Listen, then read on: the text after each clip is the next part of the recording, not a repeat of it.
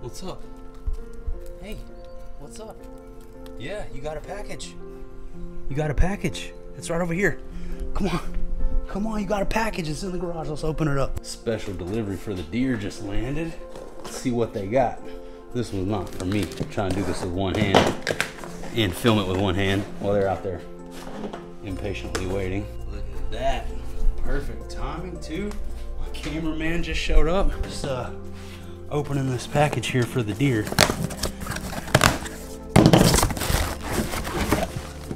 Just a little 10 pounder. Look what it is. Come here.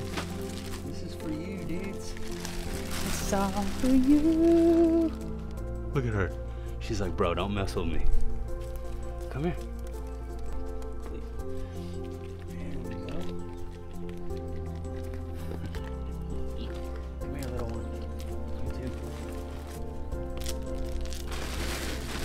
10 pound sack of almond for my deer homies. Yeah, we thought we'd uh, kick this one off a little deer unboxing. The homies, they're real skittish, man. Got preggers over there, so they're like, hey, we're vulnerable right now. So anyways, let's roll the rest of the video. This is the intro to whatever video we're shooting right now. Whatever the title says, that's the video.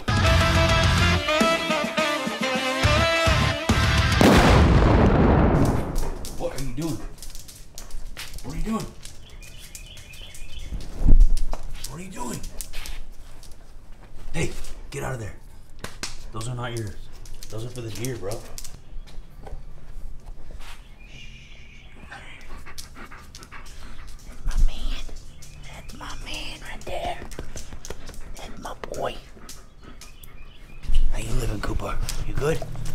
Hello and welcome. What's up, everybody? Thank you for clicking on the video. As you can see, I'm out front, out here by the boat, playing tackle box, getting a couple rods rigged up. Last time I did a video like this, you guys seemed to enjoy it, so I'm gonna set the camera up and just hang out with you guys, let you guys see what I'm getting set up on the rods as we move into the post-spawn phase here in Texas. So that will be the name of the game for this one. I'm gonna throw the camera up on the tripod here in the boat, hop up in the front, and we're gonna rig up everything that needs to be rigged up. I've got some stuff that needs to be re-spooled. We're gonna make some bait adjustments and we're gonna get ready for our next trip out on the water.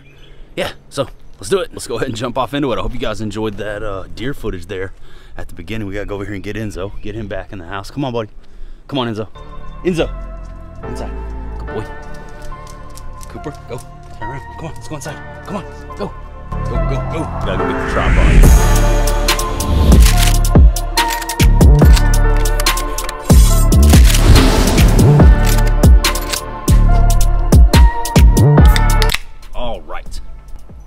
Now, we got a couple things to do. We got some rod rigging to do.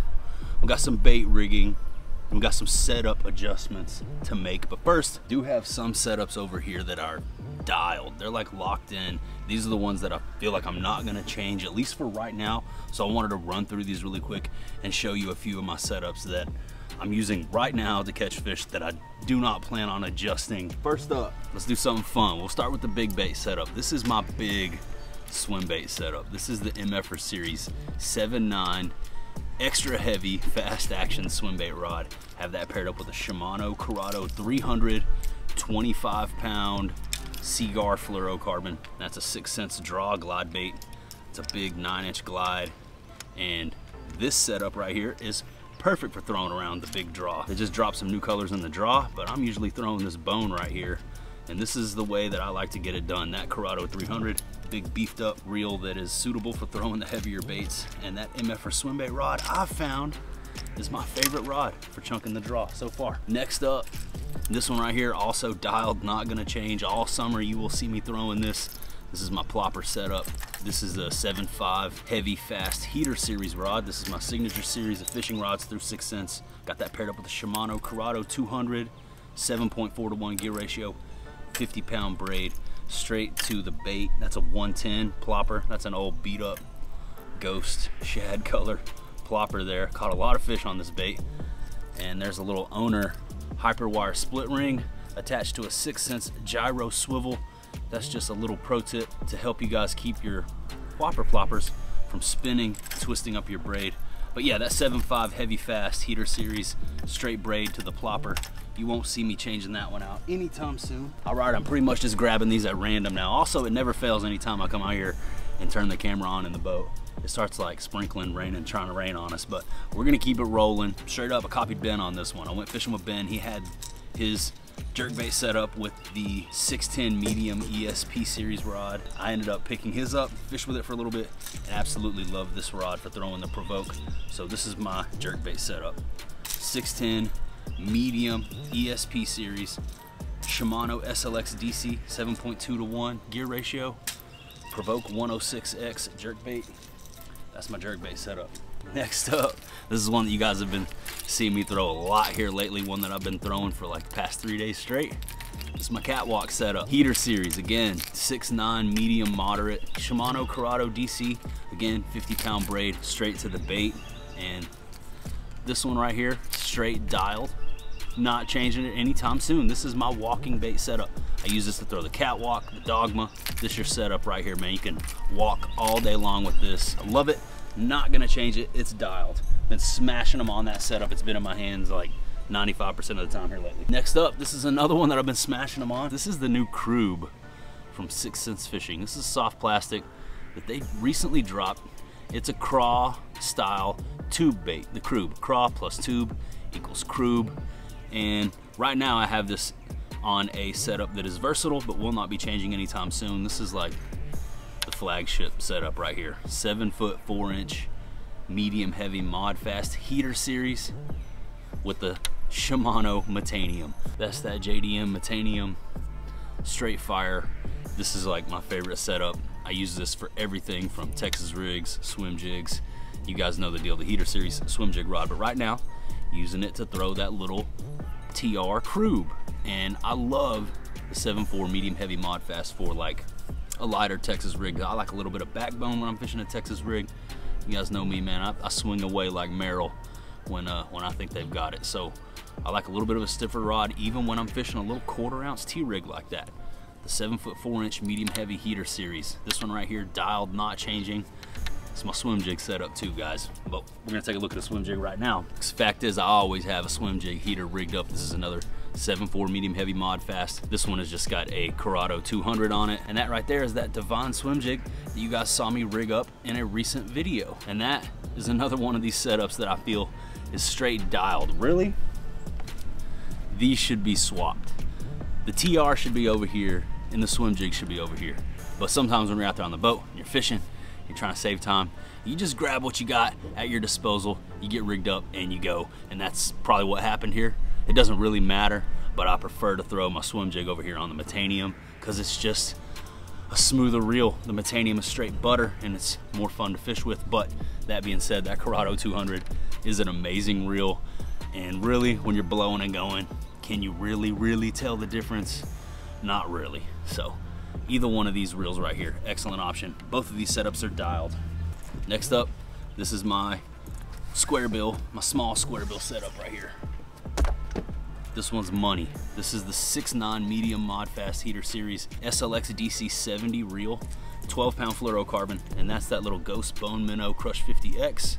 My favorite square bill crankbait, this one right here, straight dialed. Now that it's post spawn, we're gonna be banging a square bill around shallow a lot. So stay tuned for that if you guys like square bill fishing. Next up, this one right here, straight dial, the frog setup. This is the new Vega frog rod from Sixth Sense Fishing. It's a 7.3 heavy fast. It's built to frog, specifically for the Vega frog. Got it rigged up there with a Gargoyle Vega frog, paired up with a Curado DC 150 straight braid, of course. And this setup right here, straight dial for the frog, leaving it alone. Two more that are dialed, and then we'll get to some rigging. This one right here, I fished with it a lot yesterday with this bait for the first time. This is a Crush 100X square bill and I've got that on a 7.5 medium mod heater series rod. There's still a few of these left. We're sold out of a few of the heater series models on the website, but this rod right here is still available, sort of slept on. It is a sleeper, but it's a sleeper heater and it's dialed for this Crush 100X. Now, smacking them out there on this yesterday. Also, lipless, the Snatch 70, the Quake 70, the 80. All of those baits run great with the 7.5 medium heater series rod. Check it out, sixthsensefishing.com. Use my code JR10, it knocks $35 off the price of the rods. So go check this one out if you guys like throwing a square bill around, post spawn, or lipless. This one right here, straight dialed, not gonna change it. Got it paired up with a Curado 150 and some 15 pound fluorocarbon because when I'm fishing up there shallow, got millions of zebra mussels on my lake, so I've upped my line size just a little bit to help with some of that uh, that abrasion resistance. But man, it's tough. Still have to retie a whole lot. I found that really it doesn't affect the square bill too much because generally I'm fishing this thing super shallow, so a little bit heavier line is okay. Still running 12 on most of my cranking setups though. All right, last but not least, this is a setup that again is dialed. It's not gonna be changing, but we are gonna change the bait on it. You guys saw my recent unboxing video. You heard me talk about a tackle warehouse order that was split up. Second part of that shipment finally ended up arriving, but it wasn't enough for me to film a full unboxing, so I opened it on my own. My apologies. One of the baits that was in that box is this Mattlures Hard Gill. Went out and fished with it, and I'm gonna be honest with you guys, was not impressed with the uh, action on this particular bait.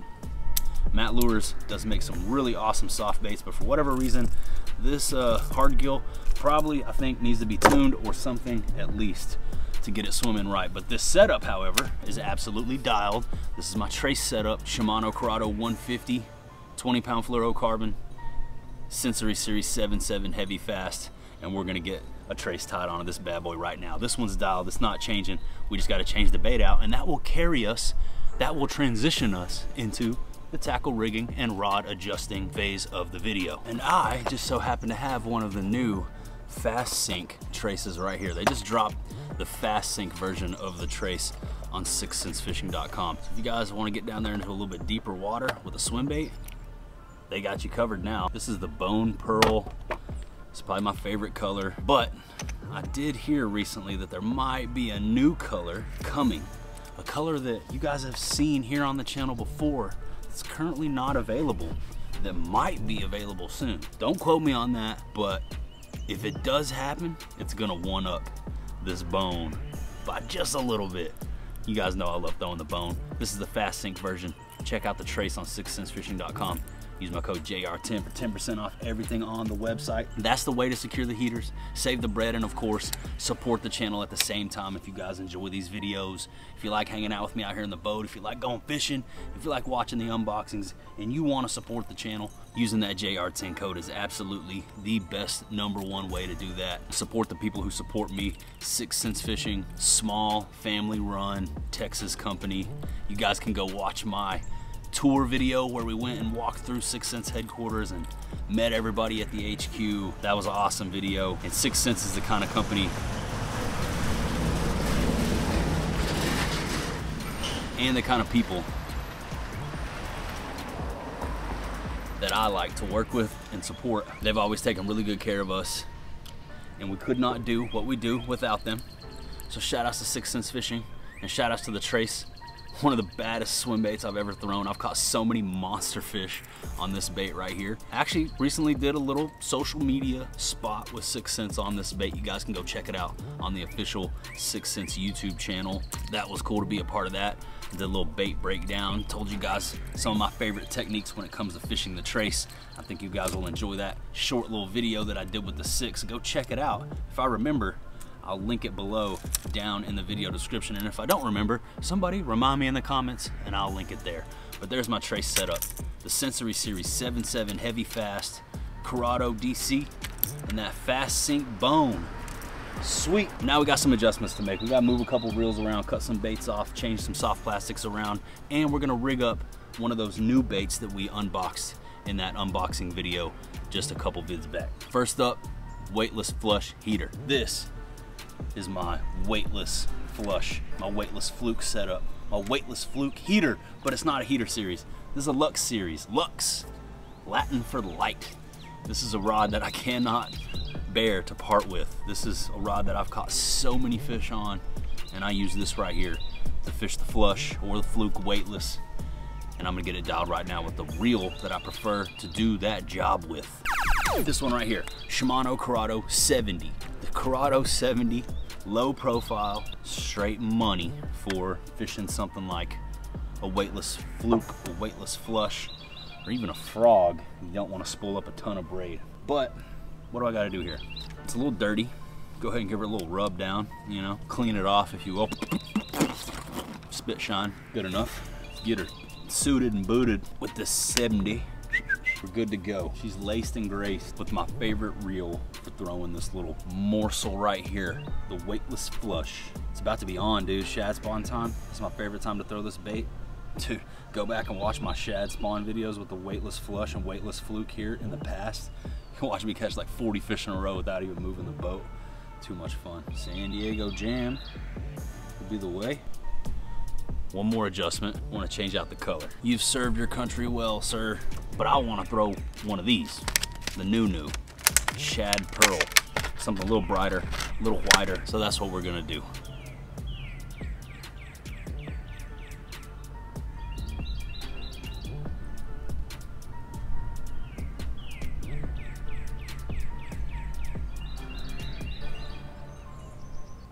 Boom, and just like that. You guys see what I did? That's how easy it is to mess up. I have to start all over. Forgot to feed the line through the line guide on the reel. So, yeah, yeah. Ask me if that's the first time that's ever happened. Think that's the first time I've ever done that? Go down in the comments right now and let me know if you guys have ever done that. Let's go ahead and do that twice, shall we? All right, well, we rigged that one up twice. No big deal, got her fixed. Obviously, if we don't take the time to correct that and feed the line back through the line guide, when you make a cast and reel your line back in, it's not gonna go back on the spool evenly across. It's just gonna all spool up on top of itself in one place. So that's why you have to do that. You can't skip that step. You guys already knew that though. And that setup right there is now dialed. All right, next up guys, this is my chatterbait setup. You guys saw me rig this jackhammer up in a recent video. That's that new six sack exclusive flush on the back of an evergreen jackhammer. Been throwing it around, got bit on it, missed a fish on it. I'm gonna try something that you guys recommended with one of these new baits that we got recently. So, first things first, I showed you guys these big bite baits, 3.75 kamikaze swim-ons. You drop the knowledge down in the comments and you let me know, hey, those pair up insanely well with that little mini max chatterbait. So that's what we're gonna rig up on this setup right now. Got a little half ounce spot remover chatterbait, and this is that little smoky gold big bite baits kamikaze swim on. Let's rig it up, downsize our profile, see if we can stick a couple fish with one of these swim ons on the back of a little mini max. I have caught fish on the mini max before, but I've just been throwing the bluegill colors. This right here has got me wanting to try this bad boy. Spot remover, obviously that's one of their popular colors. Shad style, I like the, the unpainted lead head. Smaller blade on the Mini Max, just a smaller finesse profile, something a little different from that stealth blade. Still has the flash metal blade. Again, unpainted head. This is a half ounce though, one a little heavier. Skirt on that spot remover has just a little bit of chartreuse in it. That's what gives it that unique look. But let's rig this first ever Kamikaze swim on onto a Mini Max see what she looks like. Am I doing this right? Yeah, all right, let's go. Shout outs to everybody that, that told me what was up in the comments and said, hey, that's the one for the Mini Max. I listen, I'm learning with you guys. I'm not a professional bass angler. I'm not even that good of an angler. I am in the middle of my bass fishing and learning journey right here with you guys on this channel. And I think that's why a lot of people can relate to me here. And I think that's one of the reasons why we have one of the fastest growing channels on the tube. Because I'm doing it for the everyman. I'm not a pro, you know. I haven't been targeting largemouth bass my whole life. Yes, I've been fishing my whole life, but this is a skill that I've been honing from a boat now for just shy of like three or four years. So yeah, we're learning together. Thank you to everybody for helping me learn. I appreciate all the feedback that I get in the comments and that right there is straight fire. I see why you guys were saying that. That's the profile. I can't wait to get out there and throw this. I'm gonna get it rigged up on my chatterbait setup, my bladed jig setup right here. 7.2 medium heavy ModFast heater series rod. That's what we're going with. I got it paired up with the Curado 200 and I love this setup for throwing the chatterbait. If you guys watch my Choke Canyon series, you saw me out there absolutely obliterating them on this setup right here it's money straight dialed for a bladed jig. If you're looking for a good bladed jig rod, 7.2 medium heavy mod fast heater series. And I think Tackle Warehouse has that sucker in stock. If you're trying to find it. Crazy. That's a sentence I never thought I'd say. My signature rods are available on Tackle Warehouse. I have no affiliation with old T-Dub. I just know they got my rods available. I do order a lot of tackle from those boys though, as I'm sure many of you do as well. There we go. Chatterbait Minimax Kamikaze Swim On. Smoky Gold on the 7.2 medium heavy mod fast heater series. Dude, come on, buddy. I mean, come on, buddy. Yep, I feel like that one right there is now dialed. Next one we gotta work on though, is this one right here. This is another 7.5 medium. Ugh. But I have an idea for it. First off, it needs to be restrung. So I'm gonna do that really quickly. Not gonna make you guys sit through me restringing uh, a rod, but this is uh, pretty shot. So I'm going to pull this off and I'm gonna get her spooled up with some fresh 12 pound fluorocarbon. Stand by. All right, so after digging through the whole boat and all in the garage, it turns out that I don't have any 12 pound fluorocarbon. So I had to order some, it's on the way. And once it gets here and I get this respooled, it will be dialed. Let me tell you what it's gonna be dialed for. Those lipless crankbaits I was telling you about. I was throwing lipless around on this setup right here with the SLX DC 6.3 to 1 gear ratio. Also, I got it set up with this reel and I wanna put 12 on it specifically so that I can throw the Curve 55. So that's what this setup will be dialed in for eventually. Unfortunately, we're not gonna be able to finish it in this video. Let's get off the boat. Oh my gosh, we gotta go. We don't wanna ruin this camera. The camera is more expensive than the $3 this video is gonna make us. All right, I'm up here in the garage now. Rain started falling down on me. It's actually starting to clear up and get a little sunny now. So I'm gonna go ahead and wrap up the video here, shoot the outro. Circling back to what I was talking about earlier, as we're on this learning journey together here on the channel. Like I said, I do feel like that is why so many people can relate to what we have going on over here. And that's something that sets us apart from a lot of the other super popular, really big fishing channels that are here on YouTube. You know, you got a lot of your tournament guys, and you have your big name social media guys that have been doing this kind of stuff forever. And then you have like the little guy over here trying to do it for the everyman, you know? Good old fashioned hard work. I'm one of those maniacs that still just fishes for fun, you know? I don't do it competitively. I'm not a tournament angler. I'm not a professional angler. I'm really something else. I'm something different. I'm I'm JR. I'm Justin Royal. I'm just me doing my thing, learning right there along with you guys. I often get comments and messages from you guys telling me how I've helped you learn about bass fishing and helped you catch more fish, helped you try things that you wouldn't have thought of to try before. And that goes both ways, man. It's a two-way street. You guys have absolutely helped me learn and taught me things as well. So I gotta say thank you for all the interaction and for all the guidance and education that you guys have left me in the comments and in the messages uh, giving me tips and tricks, helping me become better as an angler. That little chatterbait mini max with the kamikaze swim on in that smaller profile is just one example of that. That's just uh, something that's happened repeatedly here on the channel, something I was thinking about as we were shooting this video, so something I wanted to talk about a little bit more as we wrap it up. If you guys want to check out my signature series of fishing rods or any of the baits that I talked about from Sixth Sense that you saw here in this video, check out sixthsensefishing.com and use my code JR10 at checkout to secure the heaters and save the bread. That code is going to help you save 10% off everything on their website. It's also gonna go towards supporting the channel, helping us keep the cameras on so that we can keep making these free fishing videos for you guys here on YouTube. I sincerely appreciate you all. The JR10 Army is strong. Speaking of armies, the Heater Army continues to grow. That's our little name for anyone who chooses to become a channel member over here on YouTube. If you'd like to go above and beyond and join the Heater Army, you can click that little button down below the video to learn more about that. But without the Heater Army, without the JR10 Army, without you guys, nothing happens. So I sincerely appreciate you all for taking time out of your day to watch this video. But that's about all I got for you today, man. That about does it. That about wraps her on up. So I'm gonna say goodbye for now, but I'll see you on the next one. Peace.